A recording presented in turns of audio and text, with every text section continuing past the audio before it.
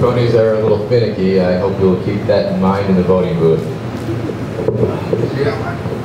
Uh, hello, Rochester! What do we want? When do we want them? Right now! What are we gonna do when we get them? Right up! Where are we gonna get them from? You name yours? Insurance! Cool. Greetings, citizens. Uh, my name is Vermin Supreme. I am a friendly fascist, and I am a tyrant that you can trust, and you should let me run your life because I know what is best for you. Yes, I'm a politician, and I will promise you anything your little heart desires because you are my constituents, because you are the informed voting public, and because I have no intention of keeping any promise that I make. So this election year, please vote early, vote often, and remember a vote for Vermin Supreme is indeed a vote completely thrown away. Thank you. Now friends, gingivitis has been eroding the gum line of this great nation of ours for long enough and must be stopped. For too long, this great country of ours has been suffering a great moral and oral decay in spirit and incisors. A country's future depends on its ability to fight back. We can no longer be a nation of denture. So, please won't you join me as we bite the bullets and brace ourselves as we cross over the bridgework into the 23rd century. May we become a sea of shiny, smiling, shiny, smiling, shiny, smiling, smiling, shiny, shiny, smiling, smiling, shiny, smiling, shiny, shiny, smiling, shiny, smiling, smile, smile, smile, smile, smile, shiny, shiny, shiny, sea. Thank you. Now friends, do not be fooled by false teeth prophets. What this mandatory toothbrushing law is really about is not the secret dental police kicking down your door at 3 a.m. to make sure you have brushed. No, friends, it is not. It is not about the government-issued toothpaste containing an addictive yet harmless substance. No, friends, it is not about the dental re-education centers. It is not about the preventative dental maintenance detection facilities. It is not even about the DNA gene splicing to create a race of winged monkeys to act as tooth fairy enforcers. No, friends, it is not about any of those things. The fact of the matter is this mandatory toothbrushing law is all about strong teeth for a strong America. Thank you.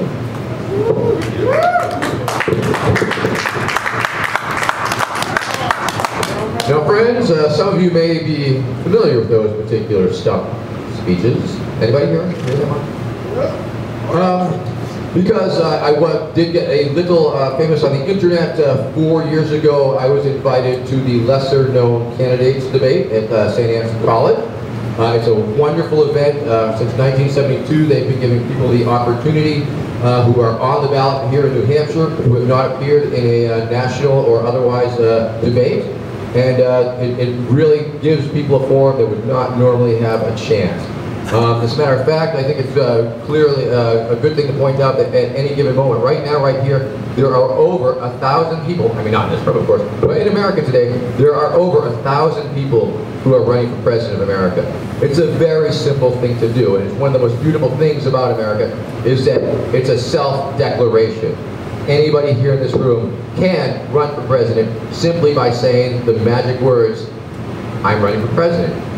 And uh, so I've taken advantage of this uh, little fact of, uh, of the world uh, for over 20 years now. I've been coming up to the New Hampshire primary, once again, of course, because it's, uh, it's uh, ground zero, if you will, for, for the presidential election. It's uh, where it all begins, as you people very well know. It draws in media from around the world. It draws in um, media from, from the, all across the country and political courts and all these things. And so I've been utilizing this particular format in order to further my agenda. Once again, I'm just a, a, a citizen of, of, this great country of ours. And uh, I have my own opinions and messages. Um, and if I were to tell you those opinions and messages, what I really felt, and if I wasn't wearing a boot, if I was wearing a regular suit, if I was on the street corner uh, giving you my opinion, I don't think you'd really care. And I, I don't think America would particularly care. And it would just be another crank on the corner uh, saying their piece. But I have managed to uh, use some very simple, elegant, and effective uh, items in my uh, campaign. Um, I wear a boot on my head. They're- It's so simple. Once again, it's very simple. Americans, and yet it's very effective.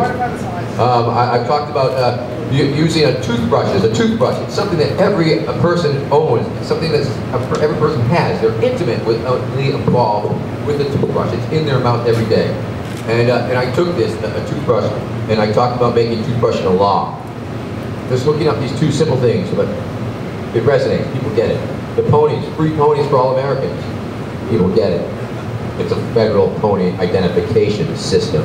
You must have your pony with you at all times. So I'm able to address my issues by utilizing these uh, rather absurdist uh, tactics. And it, this is what has broken through the barrier. This is what has broken through the, the media. I mean, I've essentially been using a lot of the same material for, for over 20 years. Uh, but the people respond to it. They like it. It's whack.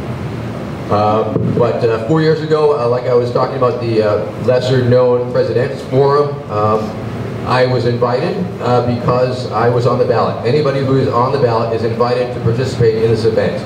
In 2008, I was on the on the ballot and I was invited to attend, and I was ready to attend, um, but I was unprepared as to what I would actually say. I was going to wing it. Um, I, me and my wife Becky. Becky, where are you, Becky? Yeah, she's around. She's seen it all before. She's in front of here. but anyway, we were on our way up to the uh, president's debate in 2008, and there was a blizzard, a great blizzard, and uh, we were forced to pull over and spend the night on the roadside, and so we did not make it to the debate that year. I was disappointed, but between that time, 2008, and oh, there she is. There she is! I was talking about driving up to the uh, debate in 2008 and getting pulled over. The blizzard didn't allow us to get there. Um, so it was very interesting because that was Obama's, uh, you know, that's when he got elected. Uh, so it, in, the, in between 2008 and 2012, a lot of different things happened. Essentially, the, the digital migration of all the media to the internet. That happened. Um, the, the whole internet culture became a real thing. Um, the the uh, Harry Potter's movie became a thing. The meme of the wizard uh, became a thing. You know, for many years I was just a, a young kid with a, with a red beard. I mean, running and, and, and talking stuff on the street, and people were, it was very easy for people to say, that guy's crazy. But in the meantime, because I've become more gray, that that, that allowed a, a certain gravitas to be applied. Um, the fact that four years passed uh, from the 2008 uh, Obama getting elected election, that gave people four years to get disillusioned and disgusted and disappointed uh, because I find that every year. I've been coming here since 92 and every year you see all these bright and shiny kids who are really getting involved in this candidate or that candidate and they, they really think it's going to make a huge difference and I always tell them, come back in four years and talk to me. Um, so there, there, was a certain amount of disillusionment uh, that occurred, and of course uh, that's always been part of my voting block, the disillusioned, the, the disaffected, the, the disgusted, the, the disappointed. Um, so, so there's more people like that. And um, so all, all, these things came together in 2012. I didn't know it. I became a meme. I guess I should have seen it coming. I should have been prepared for it, but I was not prepared for it. Um, and so in 2012, at the lesser known candidate debate, I opened with the mandatory toothbrushing law speech. It was uh, very unusual, something that uh, people weren't ready for. That I had the boot on my head. Um, people weren't ready for that. It was aired on C-SPAN. It was it was very confusing for people. It uh, it turned into this. Uh, once again, it, it, was absurd. It was ridiculous. It was unusual. The thing I like about the boot is that I can stand in the middle of any crowd, have have my picture taken, and you can show it to a kid, any kid, and say what is wrong with this picture, and they'll say that guy has a boot on his head. so it, it's a signal that, that, what I'm going to present to you might not be perceived as you know correct. Um, in fact, on the Highlight magazine, does anybody remember Highlight magazine? Uh, I had the honor of 2012. I was drawn in a cartoon in the 2012 back cover of Highlights magazine entitled "What's Wrong with This Picture." I was one of the things wrong with the picture. Uh, so uh, I, also in, 2000, in 2012, uh, running for president of America on the Democratic ticket was a gentleman named Randall Terry.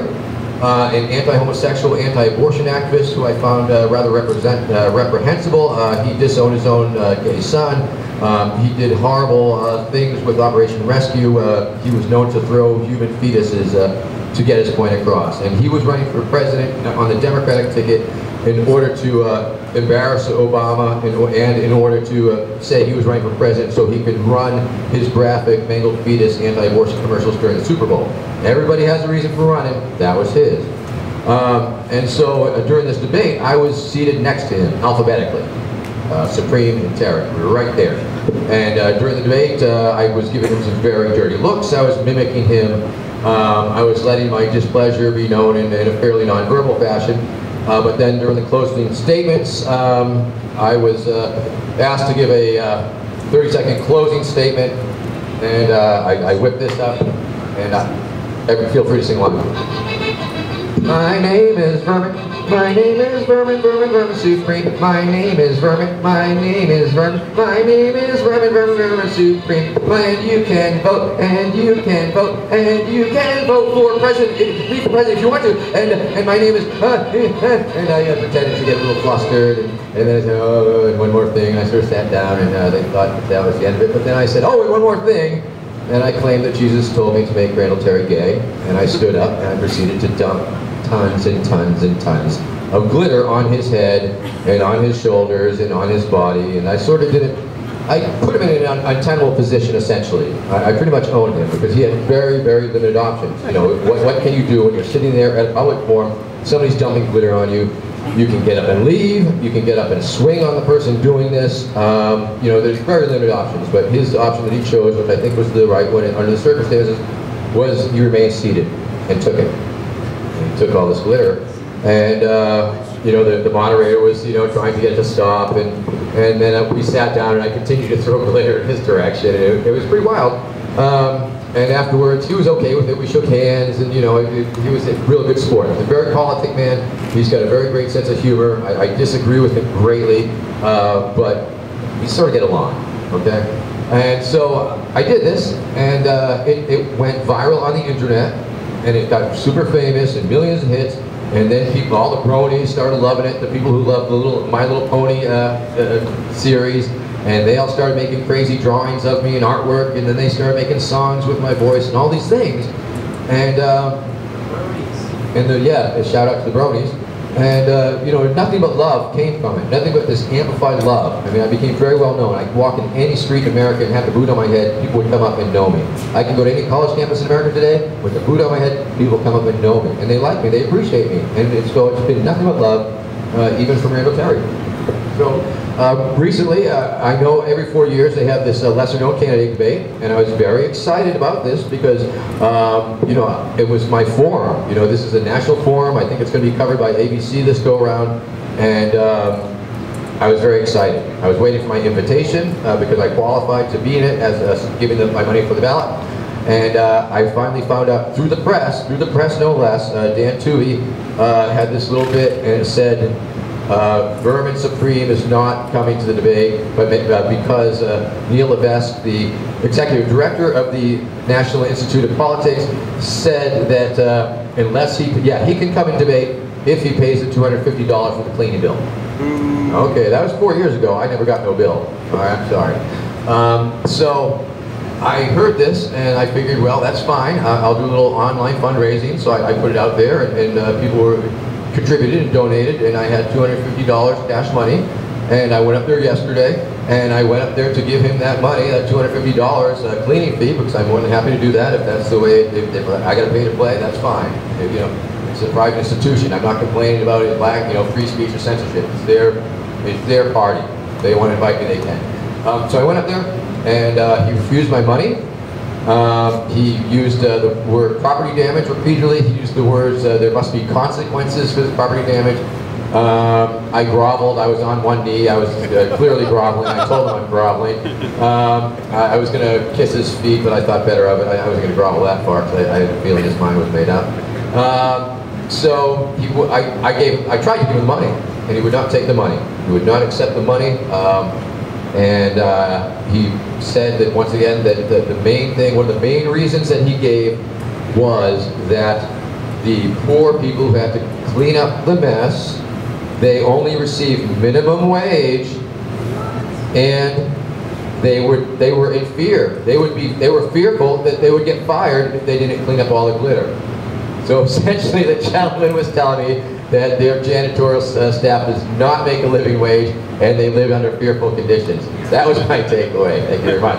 Um, so today, uh, and, and, and, I asked him uh, when I was leaving, it's like, well, will, can I sit in the audience? Can I attend uh, the event in the audience as, as an observer? And he said he was going to get back to me today about that through email.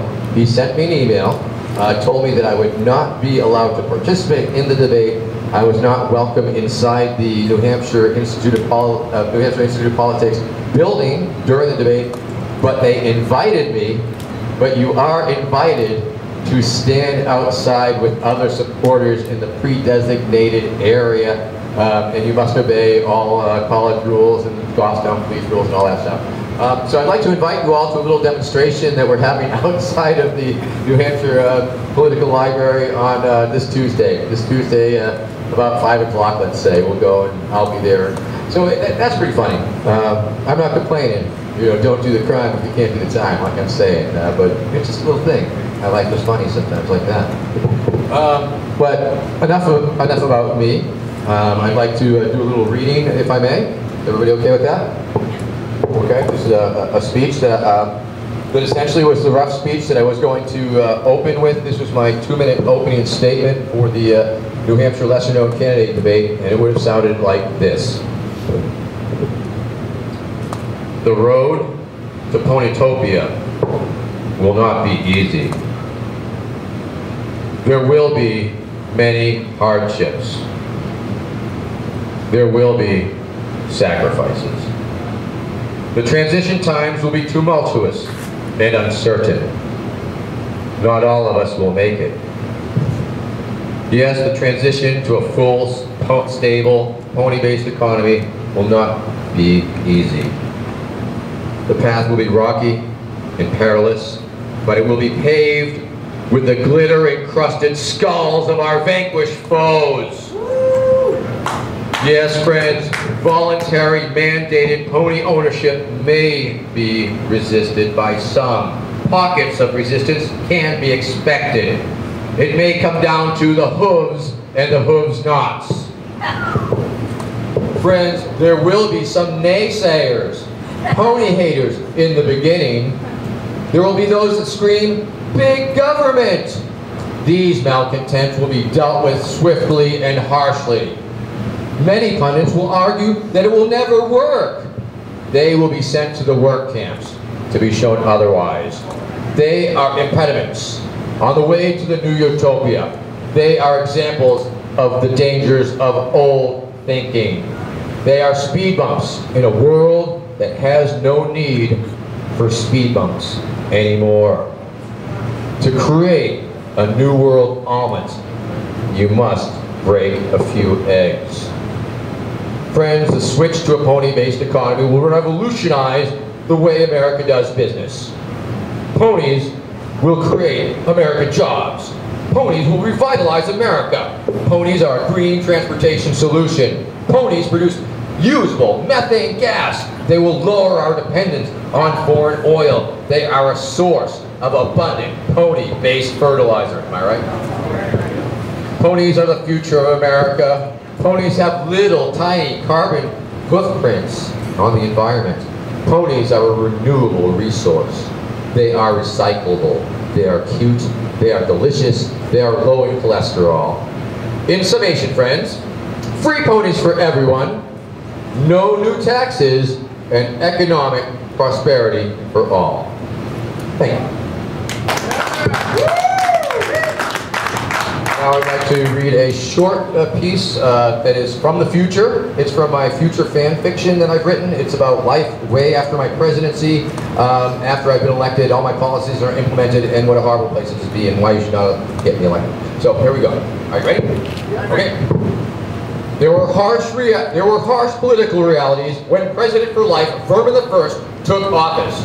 At the time of his ascent to the White House, there were over 300 million Americans in America's previous borders. At the time, there were only 300,000 ponies in the whole country. It was a recipe for civil unrest. These were not just political realities, these were reality realities. There was a very stark choice to be made. On the table, would it be the mass execution of some 299, 700,000 Americans in order to achieve proper human pony parody, Or would it be something else? Now, it is certainly true that such a mass execution would create jobs. It would also lessen the country's dependence on foreign oil. It would be good for the environment. Although, there were some drawbacks to consider. Mostly, they were merely questions of ethics and public relations. During this time of widespread civil unrest, all options were on the table. The Dental High Command was put on high alert. The dental re-education camps were ready.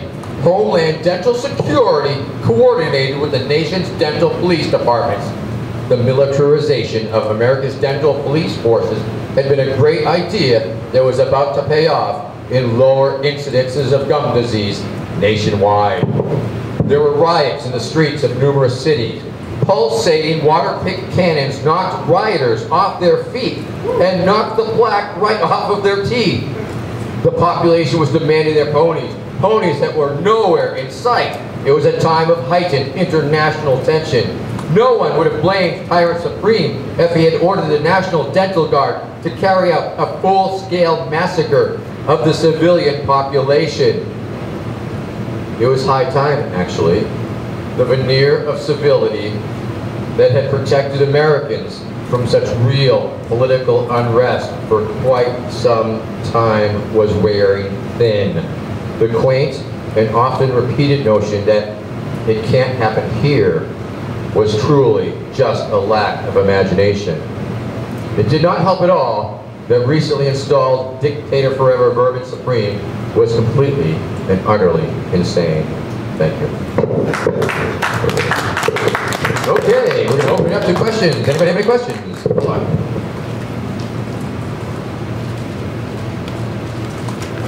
Supreme. Hi. Yes, yes, you waving your hand with the, with the suit there. With the- Mr. Supreme. Yes, sir. You're an advocate for a pony-based economy. Mr. Supreme is an advocate for a pony-based economy, and I commend you.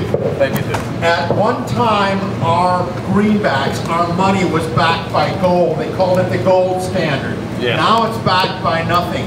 If and when you become president, what commodity do you advocate to back up our money to give it credibility? Well, that's a very good question, sir. I- I'm very glad you asked, because many people often ask me, uh, Vermin, uh, is it true that in this pony-based economy, you will be using actual ponies as currency? And uh, friends, I have to say that until we can make them very, very small to fit in our pockets and make change with, probably not. However, and some question whether we will even see our ponies, or will they simply, will we receive fiat currency backed by ponies in the Federal Pony Reserve? Uh, let me assure you uh, that you will be getting your ponies. And the thing to understand is that once we have our ponies, then we have equity in our ponies. We can use this equity to borrow against. And then we will have established pony credit.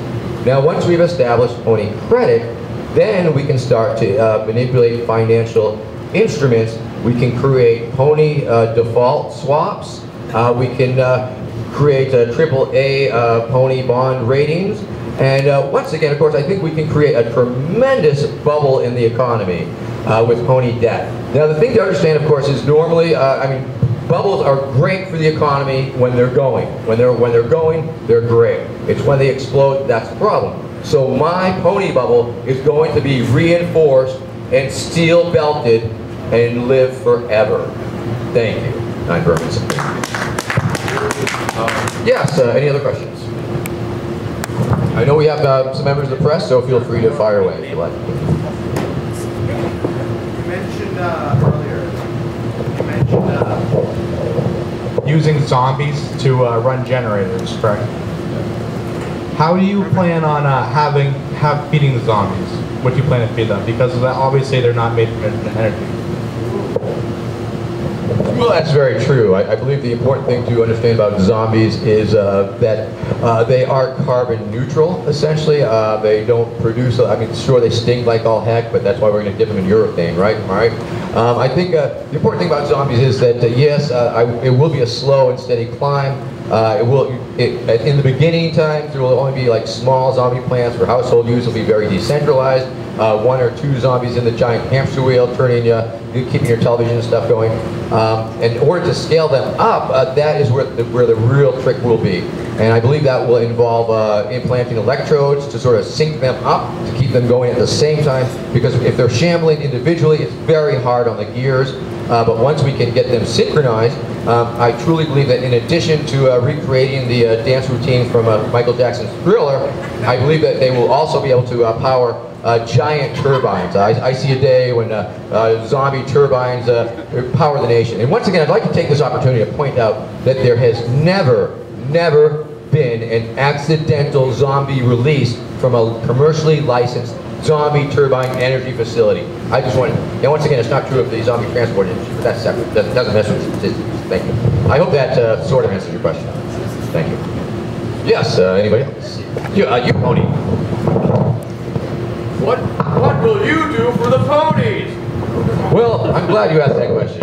Because uh, some people have uh, hypothesized, mainly ponies, that my mass pony enslavement program uh, is a ploy uh, to somehow uh, evolve the ponies into super smart ponies that will someday take over the planet and um, enslave the humans.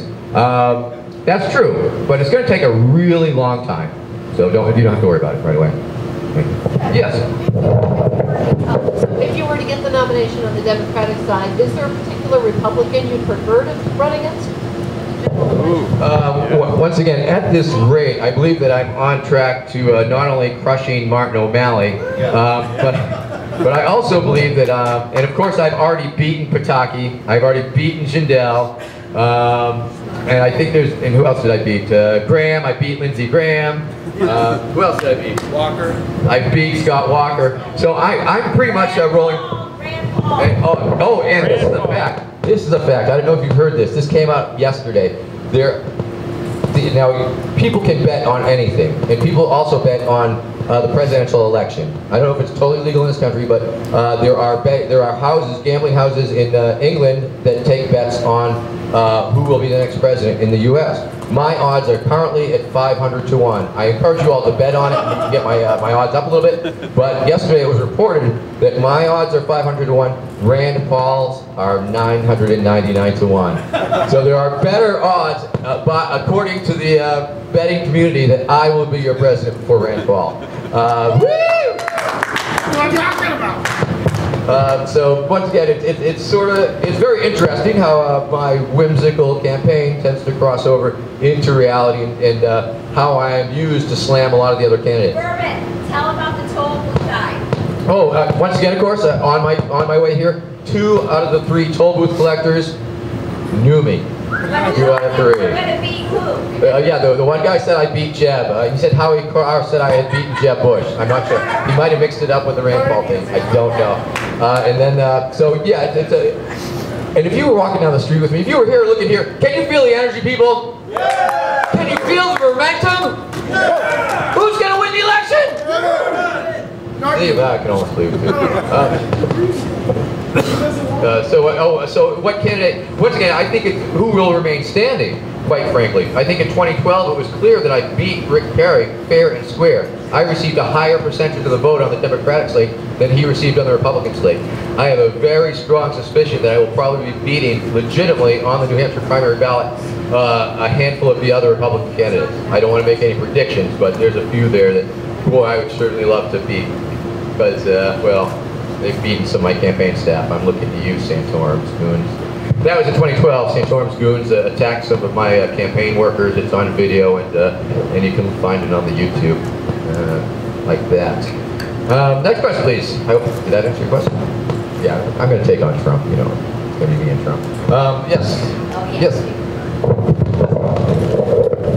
with your with your incoming fascist re- regime, how will you deal with the ponies' rights movement and deal with a pony personhood situation? Will ponies have the right to vote, and can I marry my pony? Well, yes, you can marry your pony. And I- I'd be happy to perform that ceremony. I'm uh, registered uh, with the Universal Life Church.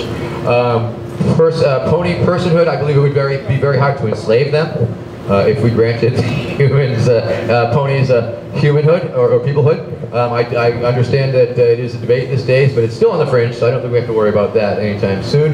The pony rights people, well, we'll just tear gas them like any other protesters. Thank you. Yes, anybody else?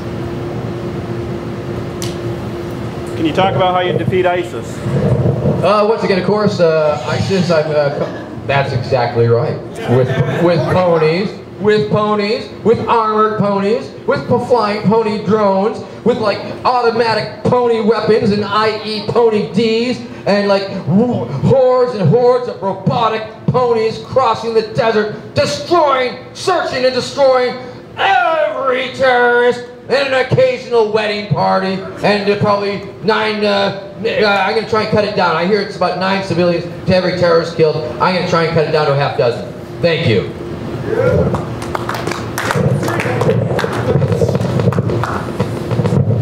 Uh, any other questions? Uh, Do you support a two-state solution in Syria? What are you gonna do for the farmers? Do you support a two-state solution in Syria?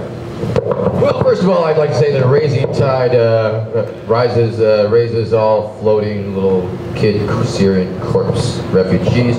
Um, I believe in uh, that there's plenty of room in this country, plenty of room in this country for uh, refugee camps.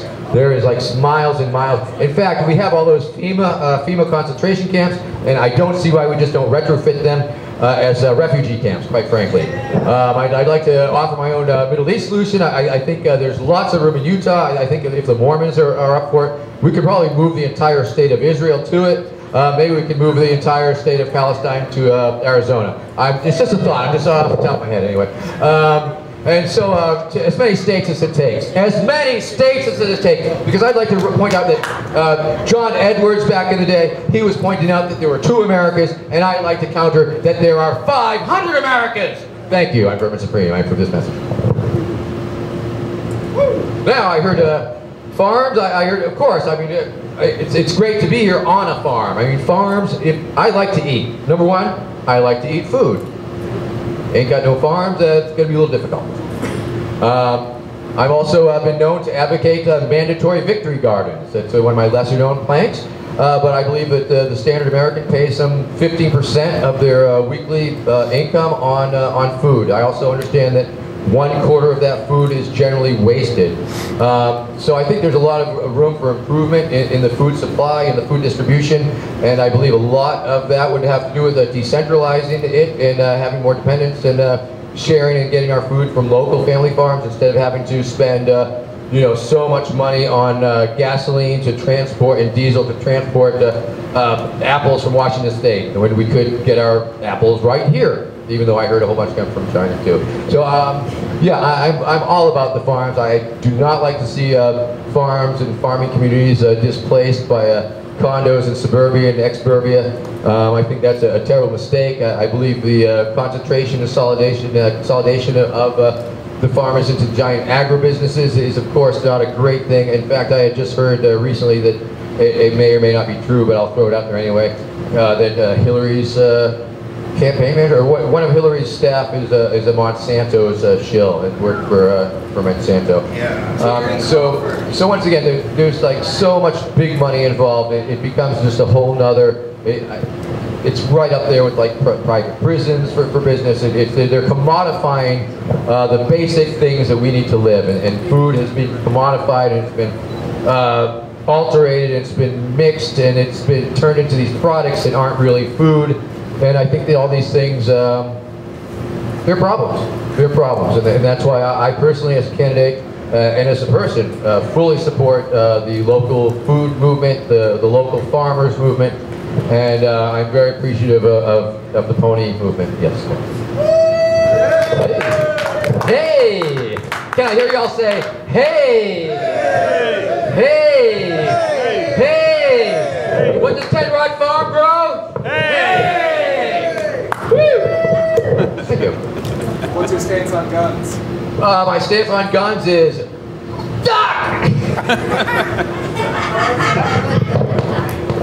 uh, once again, of course, I believe us uh, more. I believe we need more mind control. Mind control is much more effective than uh, than gun control. Um, I will say, and I will speak uh, from myself as a real person here. And once again, I'd like to point out that really, for, in terms of my campaign, my own personal opinions, I feel matter very little. I mean, the, how I feel about this issue or that issue in the real world, it doesn't really impact. You know, I mean, I have a, a wide range of supporters from, from the left, from the right. Um, I have the, you know, the Occupy left, the, the Libertarian right. And uh, so I sometimes I, I can't take a, an actual stance without alienating a whole other uh, cons- constituent block. Um, so when I, I will say, when I was a younger person, when I was much younger, um, yeah, I was I was a little knee-jerk. I was a little knee-jerk anti-gun. Didn't like him, didn't get him, didn't think we need him, blah blah blah. However, and once again, this is a I've become real a politician. I've become more politic, and part of my uh, involvement on the uh, my understanding and, and ideas about guns uh, has come about by my uh, my constituent base, the, the libertarians and the Free State Project, and um, the, the folks who uh, hosted me for a big event we had back in uh, Labor Day weekend. Uh, they, they're, were also gunsmiths, the Shaolin Gunworks, and then they let me shoot guns, and, and there's a, a great video of me shooting guns. And uh, so I can say foursquare, I'm against gun violence. I am against mass shooting. Um, I've always been a pragmatist, and uh, and I've never wanted to get into the pundit thing because I don't know if what I think about things really affects things. Um, you know, I respect my people who like guns, I, and I respect their right to like guns. Uh, it, it, it's a complex issue. I, I have my pat uh, Vermin Supreme answers, uh, but you know, it's something that I've been trying to come to pistol grips with, if you will. Um, I once again during the uh, uh, during the New Hampshire primary, um, of course, you, you do get to, I went to the State House. I went to the State House to register to uh, be President of America. And I had this vision for many years. And sometimes I have a vision and I, I don't know what, it, what, it, what the political implications are, what it really means. But my vision was to go in with two uh, long guns crossed on my front, two on my back, one strapped onto each leg. I want to look really Rambo-esque. Because it's legal to open carry in New Hampshire, it's legal to open carry in the State House. So my, it, my intent was to go and file for the presidency while I was conducting an open carry. Uh, my, my friends, they did hook me up, they did lend me their guns, so when I went to carry, I had a uh, pump action uh, pistol grip shotgun on my back, uh, but I had a flower sticking out of it and an American flag and a smiley face balloon. I had a Glock on my hip, I had a 38 Smith & Wesson uh, duct tape to the outside of my boot, I had two uh, shotguns in a little uh, golf cart that I was pulling behind me.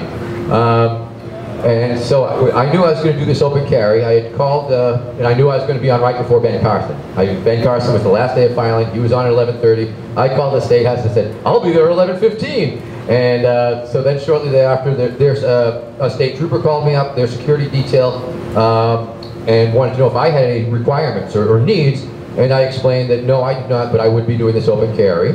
He suggested that I leave it in the car, and I told him it was a more political, arti artistic statement, and he said, okay, but he wasn't going to be in charge, the Secret Service was in charge. And so I went there with all these guns, and uh, we were invited in by the Historical Commission, and so I was in the State House, uh, I was open carrying uh, the first part, and they wanted me to take pictures with the, with the time capsule. It was very exciting, it was very nice. Uh, and then when I left there, it was then that uh, the, the Secret Service sent me uh, a diminutive Secret Service uh, agent woman, I assume to keep it de-escalatory, and uh, just asked me to go with her, and I followed her down this aisle, down that thing, and then she asked me to disarm. I disarmed, uh, but also they didn't let me, they didn't let me bring in the guns, but they also didn't let me bring in my big toothbrush, and they did not let me bring in that pony because they declared it to be a weapon.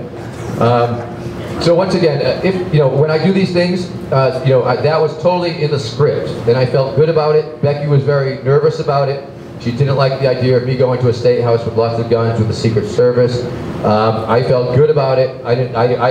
I what could go wrong? Um, but I was ready to hands on my head. I was ready to drop to my knees and do whatever. But you know, I, I felt like it was my right to do it.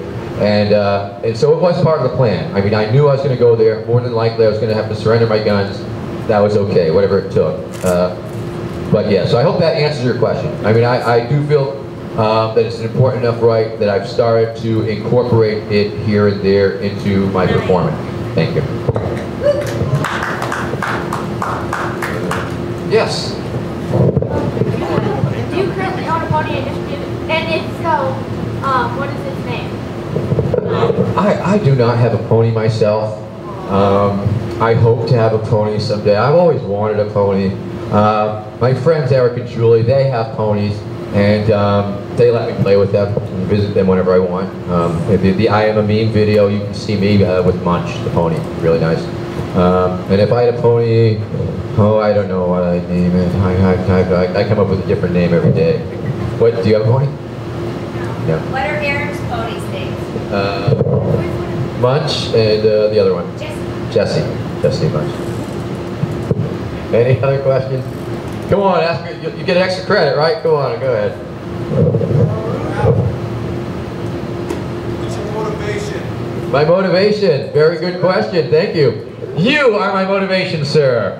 Uh, because I do believe that I have constituents. I do feel like I have supporters. I do have, uh, believe I have an audience and people who enjoy what I do.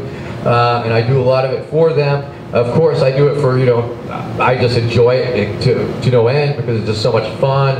Um, but once again, at this point, it's sort of this feedback loop where I do anything I possibly can. I do it for the people. The people like it, and so I feel good about it. And uh, and the fact that uh, I can just go right up to any politician and ask them a stupid question. Um, the fact that I get to play with police and Secret Service agents in this in this context. Um, it's just it's a very different context than what you might normally find yourself in. You know, normally uh, if you're dealing with the cops, sometimes it's a little tense or it's a little confrontational, and sometimes it is when I am. But I always am always able to bring it around to like, well, listen, I'm here to do this thing. I'm respectful. I'm, you know, I have a, I have a very good working relationship with authority uh, for an anti-authoritarian. That's, that's what I tell them. Thank you. You one? Nope. Just stretching. Okay. What do you enjoy the most about time traveling? Ah, goodness. The thing I like most about time travel is that, that split second before you come back. You know what I'm talking about, right? Whoa. You're like, did that really happen? Wow. Uh, okay, I, if you, I, I, we can show uh, some videos if you like. If you're going to want to stick around a little bit. Um, I've got a movie. Uh, it's a documentary. I think you'll very much enjoy it. If you want to move your chairs over here towards the screen, um, I'll start it up for you in a few moments. Thank you.